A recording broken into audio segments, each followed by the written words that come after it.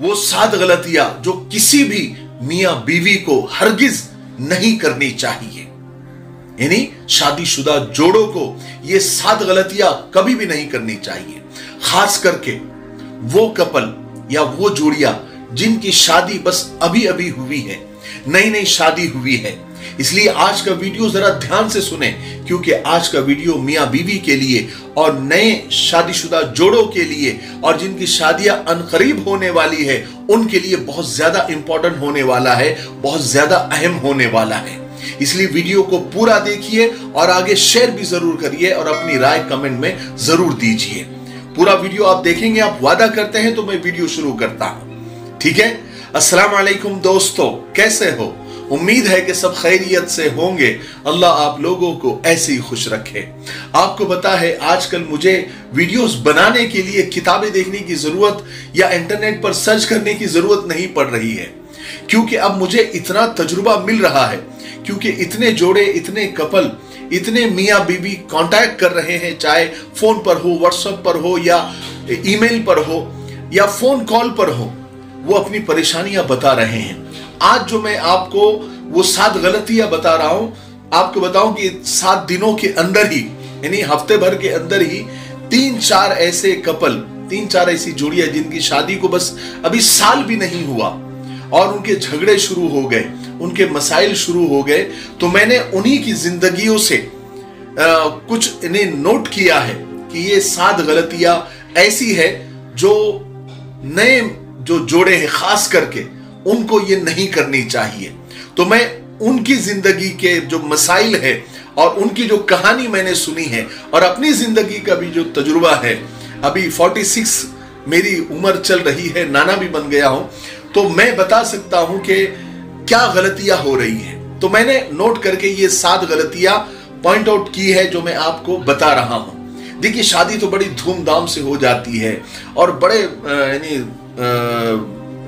Hall लिए जाते हैं और खाने किए जाते हैं, सब कुछ अपनी जगह पर। लेकिन असल जो ज़िंदगी शुरू होती है, वो घर में आने के बाद। तो मैं ये जो गलतियाँ आपको बता रहा हूँ, मैं आपको सुनाता हूँ सबसे पहली गलती। मियाँ बीवी की ये होती है, खास करके नए जोड़े की, एडजस्ट करने की कोशिश ही नहीं करते। देखिए, मैं आपको बताता हूँ कि दोनों, यानी मियाँ बीवी अलग अलग फैमिली से होते हैं। उनका रहन सहन अलग खान पान अलग तौर तरीके अलग हर एक का इंटरेस्ट अलग, हर एक हर एक की पसंद अलग। यानी हर एक का जो है, वो अलग अलग फैमिली से बिलोंग करते हैं अलग अलग उनकी परवरिश हुई होती है अलग अलग मिजाज होते हैं। लेकिन अब शादी के बाद एक हो गए हैं। तो अब एक दूसरे को एडजस्ट करने की कोशिश करनी चाहिए।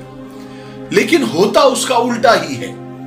दोनों एक दूसरे को एडजस्ट नहीं करते, बल्कि एक दूसरे को बदलने की कोशिश करते हैं और अपने जैसा बनाने की कोशिश करते हैं। मियाँ कोशिश करता है कि बीवी उसके जैसी हो जाए और बीवी की यह मेहनत और कोशिश होती है कि मियाँ उसके मिजाज के जैसा हो जाए। एक दूसरे को एडजस्ट नहीं करते और एक दूसरे को बदलने की कोशिश करते हैं। देखिए, जब तक हम खुद को नहीं बदलेंगे, तब तक हम सुकून से नहीं रहेंगे। और इंसान की सबसे बड़ी गलती यह होती है कि इंसान घर बदलता है, शहर बदलता है, मुल्क बदलता है, लेकिन खुद को नहीं बदलता। और प्रॉब्लम यही से शुरू हो जाती है। इसलिए एक दूसरे को एडजस्ट करने की आप आदत डालिए। है ना? मैं आगे बताता हूँ आपको कि और एडजस्ट नहीं करने के क्या नुकसान होते हैं। दूसरी गलती इन मेच्योर बिहेवियर यानी बचकानी हरकतें करना। नई नई शादी हुई होती है। बात बात पर रूट जाना बात बात पर बात बंद कर देना और ईगो और अना की वजह से माफ़ी मांगने और सॉरी बोलने में पहल नहीं करना। मर्द कहे कि, मैं क्यों झुकू? मैं तो मर्द हूँ। औरत सोचे कि, मैं क्यों झुकू? मैंने तो इतना सारा जहेज लेकर आई हूँ। मैं तो इनसे ज़्यादा पढ़ी लिखी हूँ या मैं इनसे ज़्यादा कमाती हूँ। ये जो बच्चों वाली कट्टी और सो वाली हरकतें हैं, ये बंद करनी पड़ेगी। एक दूसरे को समझना पड़ेगा। एक दूसरे को एडजस्ट करना पड़ेगा। किसी ने बड़ी अच्छी लाइन कही है कि ना तेरी शान कम होती, ना तेरा रुतबा घटा होता। जो गुस्से में तूने कहा, काश वो हंस के कहा होता। तो यानी जो बात गुस्से में कही जा सकती है, वो हंस के भी कही जा सकती है। बात बात पर बात बंद कर देना पहल नहीं करना, सॉरी नहीं बोलना, माफ़ी नहीं मांगना, ये ज़िंदगी को मजीद मुश्किल बना देता है। ज़िंदगी को अगर आसान बनाना है, गालिब की दो लाइन भी मैं हमेशा कहा करता हूँ कि मैंने ज़िंदगी को यूँ आसान कर दिया, किसी से माफ़ी मांग ली और किसी को माफ़ कर दिया। अगर आपने ये आदत बना ली है जहाँ माफ़ी मांगने की ज़रूरत है, वहाँ माफ़ी मांग ली। और जहाँ आप माफ़ कर देने की पोजीशन में हो, वहाँ आपने सामने वाले को माफ़ कर दिया। देखिए, ज़िंदगी कितनी आसान हो जाती है। और मियाँ बीवी के लाइफ में अगर आपने ये चलन बना लिया, अपनी आदत बना ली कि जहाँ माफ़ करने की बात आई तो माफ़ कर दिया। कहीं माफ़ी मांगने की बारी आ गई तो आपने माफ़ कर दिया। कभी झगड़ा ही नहीं होगा। तो ये दूसरी मिस्टेक है जो कभी भी नहीं करनी चाहिए। तीसरी गलती, यानी तीसरी मिस्टेक अपने पार्टनर से बहुत ज़्यादा उम्मीदें लगा देना। और ऐसी उम्मीदें जो सामने वाला चाह कर भी पूरा नहीं कर सकता। दोनों हमेशा ध्यान रखें कि उन्होंने किससे शादी की है। मियाँ ध्यान रखे कि उसने किस औरत से शादी की है। और औरत भी ध्यान रखे कि उसने किस मर्द से शादी की है। उसकी माली कंडीशन क्या है? फाइनेंशियल कंडीशन क्या है? उसकी सैलरी क्या है? उसकी, उसका बिज़नेस क्या है? उसकी कमाई क्या है? और मर्द को भी ध्यान रखना चाहिए कि उसने किस लड़की से शादी की है? उसका खानदान कैसा है? उसकी परवरिश कैसी है? वो किस खानदान में उसकी परवरिश और किस माहौल में उसकी परवरिश हुई है? उसकी उसका नाक नक्शा कैसा है? और वो दिखने में कैसी है?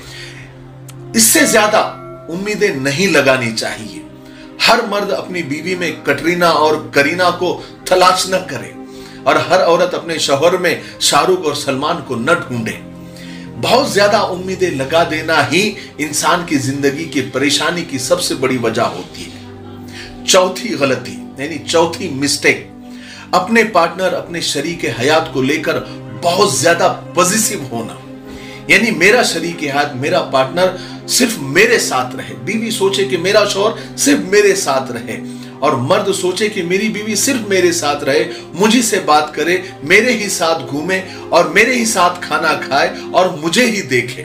बहुत अच्छी बात है। यह आपका प्यार है यह आपकी मोहब्बत है। लेकिन बहुत ज़्यादा मीठा भी इंसान को शुगर की बीमारी में डाल देता है। देखिए, मिजाज को समझने की कोशिश करें एक दूसरे की। यानी एक दूसरे को एक दूसरे का कैदी न बनाए, पिंजरे में बंद न करें। हर एक की अपनी पर्सनल लाइफ होती है। किसी मर्द के कुछ दोस्त होते हैं और बीवी की कुछ सहेलियाँ होते हैं, होती है। तो दोनों को एक दूसरे को स्पेस देना चाहिए। ठीक है, बीवी अपनी सहेलियों से अगर बात करना चाहती है तो बात करने दे। कभी उनके साथ खाना खाना चाहती है तो खाना खाने दे। कभी उनके साथ बाहर जाना चाहती है तो जाने दे। बीवी को भी चाहिए कि मियाँ के कुछ दोस्त होते हैं, उसकी भी अपनी पर्सनल लाइफ होती है। अगर कभी मियाँ दोस्तों के साथ खाना खाना जाना चाहता है तो जाने दे, घूमने जाना चाहता है तो जाने दे फ़ोन पर बात कर रहा है तो करने दे, है ना? एक एक दूसरे को जो है ना वो डोमिनेट न करें। एक दूसरे पर जो है ना सवार ना हो जाए। बस मेरा पति सिर्फ़ मेरा है। ये एक अच्छी बात है एक एंगल से। लेकिन इतना भी ज़्यादा नहीं कि उसको कैदी बना कर रख दिया जाए। अपने पार्टनर को पिंजरे में बना, अपने रूल्स के और अपने कानून के पिंजरे में कैद करके रख दिया, इससे घुटन पैदा होगी। इससे मोहब्बत बढ़ती नहीं है। लगता है कि मोहब्बत बढ़ेगी, लेकिन इससे घुटन पैदा होती है। शौहर ऑफ़िस से छूटेगा तो घर नहीं आएगा। वो सोचेगा कि मैं घर जाऊँगा तो मैं पिंजरे में बंद हो जाऊँगा। है ना? बीवी जब कई मैके जाएगी तो जल्दी नहीं आएगी। कह रहे, वो पिंजरे में, वो कैद खाने में कहा जाना है? तो एक दूसरे को स्पेस दे। एक दूसरे की पर्सनल चॉइस का ख्याल रखें। ठीक है? बहुत ज़्यादा पॉजिटिव होना भी झगड़ों की शुरुआत कर देता है। बात समझ में आई? पांचवी गलती, यानी पांचवी मिस्टेक एक दूसरे की बुरी आदतों को बर्दाश्त न करना। बैड हैबिट को बर्दाश्त न करना। जैसे मिसाल के तौर पर जैसे बीवी को आदत है कि वो फ़ोन पर लंबी लंबी बातें करती है मैके से बहुत ज़्यादा लगाव है, मेकअप पर बहुत ज़्यादा पैसे खर्च करती है, वगैरह वगैरह। शोहर को मोबाइल की बहुत ज़्यादा आदत है, मोबाइल पर बहुत ज़्यादा गेम खेलता है, या मोबाइल पर बहुत ज़्यादा वीडियोस देखता है, या टीवी देखने की बहुत ज़्यादा आदत है, या सिगरेट पीने की बहुत आदत है, या बहुत सुस्त है, बहुत लेजी है, या दिन रात सोता रहता है, वगैरह वगैरह। ये जो बैड हैबिट है, ये जो बुरी आदतें हैं, एक दूसरे की बर्दाश्त न करने की वजह से लड़ाइयाँ शुरू हो जाती है। तो इससे जो है ना, बर्दाश्त न करने से हल नहीं निकलेगा। और फिर एक बहुत, यानी अलग टाइप के कपल होते हैं, जो मेरी बात हुई, वो ऐसे होते हैं कि एक दूसरे की आदत को बर्दाश्त तो करते हैं, खामोश रहते हैं, लेकिन अंदर ही अंदर कुड़ते रहते हैं। फिर एक दिन उसका ब्लास्ट होता है। फिर वो झगड़ा हद के पार चला जाता है। इसलिए एक दूसरे की बैड हैबिट पर, यानी बुरी आदतों पर डिस्कस करें, प्यार से। प्यार से दोनों एक दूसरे की बुरी आदत को लेकर आहिस्ता आहिस्ता एक दूसरे की बुरी आदत को छुड़ाने की कोशिश करें। जो चीज़ें आसानी से छूट सकती है, उसको छोड़ दे और बाकी के लिए एक दूसरे को वक्त दे। क्योंकि देखो, अब शादी हो गई है और अब जो है एक दूसरे की बुरी आदतें समझ में आ रही है। अब इन आदतों को जो है छुड़ाने की कोशिश करनी चाहिए, ना कि एक दूसरे को छुड़ाने की कोशिश करनी चाहिए। बहुत सारे कपल ऐसे होते हैं उनको बहुत सिगरेट की आदत है, वो बहुत लेजी है, बहुत सोते रहते हैं। अरे, वो तो बहुत फ़ोन पे बातें करती रहती है, वो तो बहुत मेकअप पे खर्च करती है, या बहुत शॉपिंग की उसको आदत है। ये करके जो है ना, ये आदतों की वजह से वो आदतें छुड़ाने की नहीं कोशिश करते, बल्कि एक दूसरे से जान छुड़ाने की कोशिश करते हैं। और बात बात पर तलाक की बात बात तलाक पर आ जाती है। तो ऐसा ना करें, बल्कि एक दूसरे से डिस्कस करें, यानी खामोश भी ना रहे, बर्दाश्त भी ना करें, लेकिन एक दूसरे से बात करके, एक दूसरे की आदत को छुड़ाने की कोशिश करें। ठीक है? नंबर छ यानी छठी मिस्टेक, छठी गलती। खर्च करने में बजट नहीं बनाना। नई नई शादी हुई होती है। खूब खर्च करते हैं, घूमते हैं, फिरते हैं, शॉपिंग करते हैं, एक दूसरे को गिफ्ट देते हैं, डिनर, लंच, सब कुछ होता है। बहुत अच्छी बात है। लेकिन जब होश आता है तो पता चलता है कि ढेर सारा कर्ज हो गया है। और फिर शोहर उस कर्ज को चुकाने के लिए गधे की तरह मेहनत में लग जाता है। बीवी बच्चे को टाइम नहीं देता है, क्योंकि कर्ज उतारना है। फिर एक दिन ऐसा आता है कि पैसे रिश्तों पर भारी पड़ने लग जाते हैं, झगड़े की शुरुआत हो जाती है। इसलिए जितनी चादर हो, उतने ही फैलाना चाहिए और बजट बनाकर चलना चाहिए और दोनों ने दोनों ने मिलकर बजट बनानी चाहिए। शौहर को मालूम है कि मेरी बीवी काम करती है तो उसकी कितनी तनख्वाह है। बीवी को मालूम होना चाहिए कि मेरे शोहर की कितनी तनख्वाह है, दोनों की मिलाकर कितनी होती है या शोहर की कितनी होती है, दोनों बजट बनाए, इसमें घर का राशन भी चले बच्चों की स्कूल भी हो, और उसके अलावा अपनी जो ख्वाहिशात है, घूमना फिरना है, वो उसी में हो। कर्ज लेकर, लोन लेकर, और ब्याज भर भर कर, सूद दे देकर अयाशी करना, फिर एक दिन जो है बड़ा बोझ, एक पहाड़ लोन का कर्ज का आ जाता है तो फिर ताबीज बनाते घूमते हैं, या बाबाओं के चक्कर लगाते हैं, या फिर और सूद को, यानी सूद देने के लिए सूद से पैसा लेते हैं तो वो चक्री ब्याज यानी सूद पर सूद सूद का ही सूद देने में ज़िंदगी निकल जाती है, और जहाँ सूद आ जाता है, फिर वहाँ से नहुसत शुरू हो जाती है, और घर में बेबरकती शुरू हो जाती है। इसलिए बजट बनाकर चले। बजट बनाए बिना खर्च ना करें। यह एक बड़ी मिस्टेक है। सातवीं गलती, यानी सातवीं मिस्टेक एक दूसरे के पेरेंट्स का, एक दूसरे के माँ बाप का हद से ज़्यादा उनकी शादीशुदा ज़िंदगी में इंटरफेयर मुदाखलत। देखिए, बहुत सारी जोड़ियाँ, मैंने ये बहुत, यानी तजुर्बा किया है। मुझे आजकल पता है कि आजकल लोगों का माइंडसेट क्या होता जा रहा है। यानी पहले से बहुत सारी जोड़ियाँ, बहुत सारे कपल ये माइंडसेट लेकर बैठे होते हैं। शौहर सोचता है कि आजकल की लड़कियाँ मायके वालों का ही सुनती है। ससुराल में जल्दी एडजस्ट नहीं होती या नहीं हो सकती या नहीं होगी। और बीवी का माइंडसेट ये होता है कि शोहर तो माँ का लाडला होता है, बहन का लाडला होता है, वो तो माँ बाप की ही सुनेगा और मुझे टॉर्चर करेगा, उनकी बातें सुन सुनकर आकर मुझे डांटेगा। ये पहले से ही नेगेटिव सोच दोनों की होती है। और मियाँ बीवी को हमेशा ये सोचकर चलना होता है कि अब हमारी शादी हो चुकी है, अब हम बड़े हो गए हैं, जिम्मेदार हो गए हैं, अब हमारी शादीशुदा ज़िंदगी को चलाना, उसको निभाना हमारी ज़िम्मेदारी है। अब हमको फैसले लेना है। देखिए माँ बाप को भी इज़्ज़त देनी है। रहबरी और गाइडेंस माँ बाप से ही लेना है। दुआएँ उनसे ही लेनी है। उन्हीं के ज़िंदगी के जो तजुर्बे हैं, वो आपको बहुत काम आएँगे। लेकिन फैसला हमेशा मियाँ बीवी को ही करना है। याद रखें, मियाँ बीवी के बीच में तीसरा जब कोई आ जाता है इंटरफेयर करता है, मुदाखलत करता है तो फिर वो घर तबाह हो जाता है, चाहे फिर वो एक दूसरे के सगे माँ बाप ही क्यों ना हो। इसलिए अपनी आपको सीखना सबसे है, राय सबसे लेनी है, तजुर्बा सबसे लेना है, लेकिन फैसला मियाँ बीवी को दोनों को ही आपस में करना है।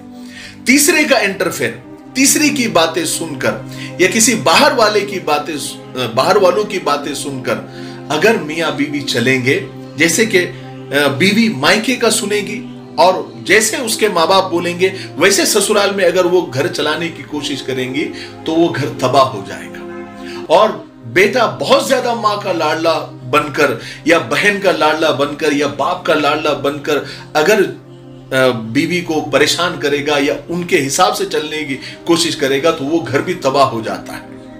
माँ बाप की इज़्ज़त करे, एहतराम करे, उनसे गाइडेंस ले, रहबरी ले राय ले। लेकिन दोनों आपस में मिलकर ही घर को चलाए, अपनी शादीशुदा ज़िंदगी को चलाए तो ही चल सकता है। ठीक है? ये सात गलतियाँ और मेरे जहन में दो तीन चीज़ें और हैं, जो मैंने लोगों से, जो मियाँ बीवी की मैं जो बातें सुनता हूँ, फैमिली मैटर सुनता हूँ, लेकिन अब वीडियो लंबा हो जाएगा, इसलिए सात गलतियों पर भी मैं इतफाक कर देता हूँ। यही पर बस कर देता हूँ, क्योंकि वीडियो और लंबा हो जाएगा। मुझे उम्मीद है कि ये सात गलतियाँ कोई ना करे। और इस पर ध्यान दे, तवज्जो दे, खास करके जिनकी शादियाँ होने वाली है या जिनकी शादियाँ हो गई है।